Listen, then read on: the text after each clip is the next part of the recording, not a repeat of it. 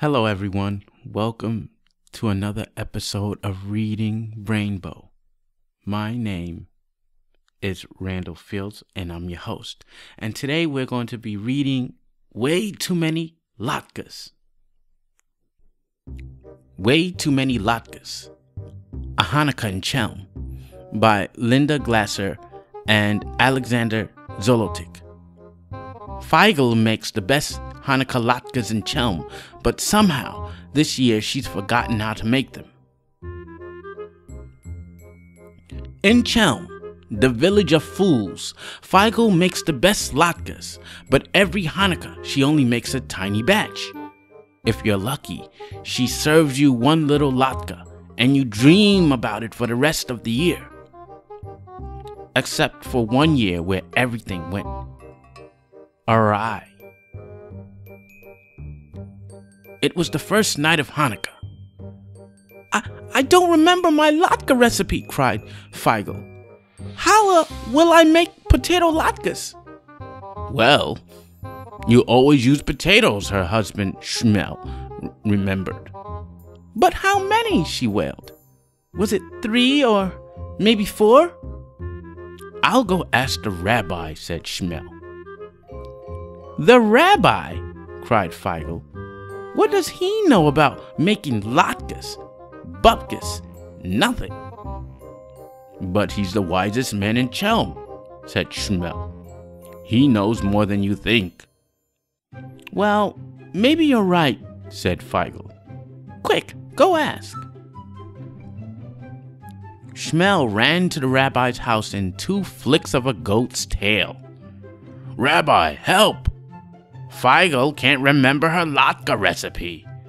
How many potatoes should she use? The rabbi's stomach gurgled. He hadn't eaten much all day. Tell her to use them all. Shmuel scratched his head. Are you sure? Are these my feet? The rabbi pointed. Of course, said Shmuel. Are you sure? asked the rabbi. Sure, I'm sure, said Shmuel. Well, said the rabbi, I'm just as sure about the potatoes. On the Hanukkah, that's what potatoes are for. You are so wise, said Shmuel, and rushed home. The rabbi says to use them all, he said to Feigl. All of them? Is he sure? asked Feigl. Are these the rabbi's feet? Shmuel pointed. What? cried Feigl. Shmuel, where's your head? Right here, he tapped it. Don't ask silly questions. Let's just do what the rabbi says. So Feigl grated all the potatoes down to the very last one.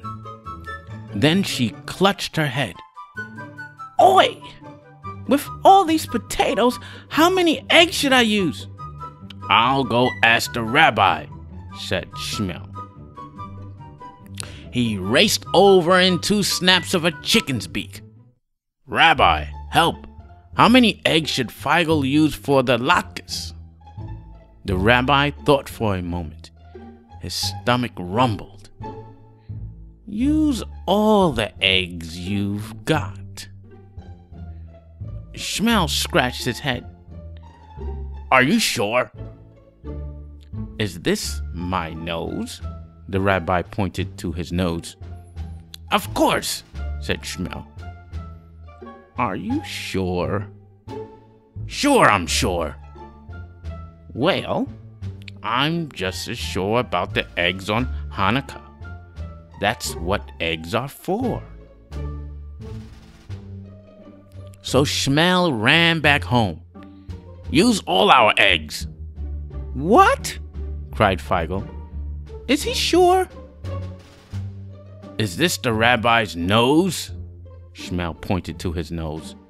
What? Have you lost your head? Shmuel felt it. No, it's right here. Let's start cracking eggs. So Feigl cracked all the eggs down to the very last one. Done! Then she groaned. Oi! But how many onions should I use? I'll find out. Shmuel ran to the rabbi's house and two flicks of a mule's ear. Onions? The rabbi tugged his beard. His stomach grumbled. Use all the onions you've got. Shmuel's eyes bulged. Are you sure? Is this my head? The rabbi pointed. Of course, exclaimed Shmuel. Are you sure? Yes, I'm sure. Well, I'm just as sure about the onions on Hanukkah. That's what onions are for.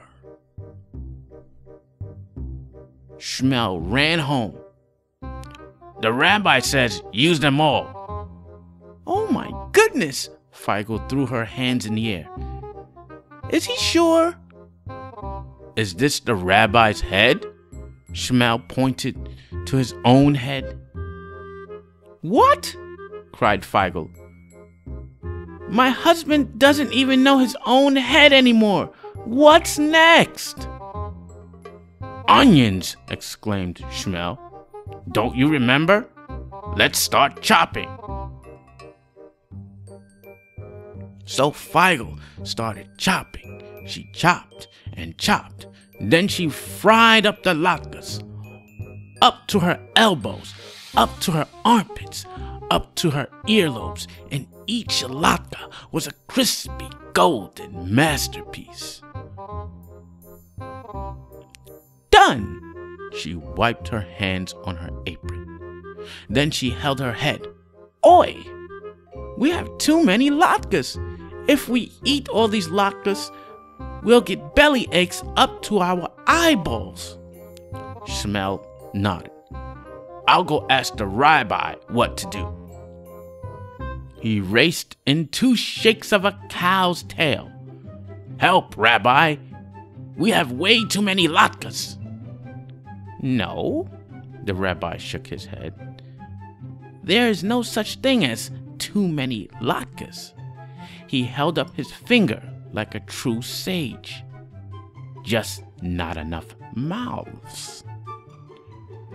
Very wise, nodded Shmuel. But Feigl and I have only one mouth each. Ah! The rabbi's stomach growled loudly. Don't worry, I can help. I'll come to your house and I'll bring my mouth with me. But when they got to the house, the rabbi shook his head. I can't eat all of these latkes. Not even if I stuffed my mouth from now until the last night of Hanukkah. Oi! moaned Feigl. What will we do with all these latkes? The rabbi stroked his beard. There's only one answer. We need more mouths. More mouths? Shmuel felt around his face for more mouths. The rabbi shook a finger at him. Not our mouths. Go. Invite the whole village. Quick, while the latkes are still hot. Tell everyone to bring one mouth each. On Hanukkah, that's what mouths are for. And so Shmuel did. The whole village rushed over to help solve the problem of too many latkes. And oi, did they help. On Hanukkah, that's what a village is for. There were just enough mouths and just enough latkes down to the very last one.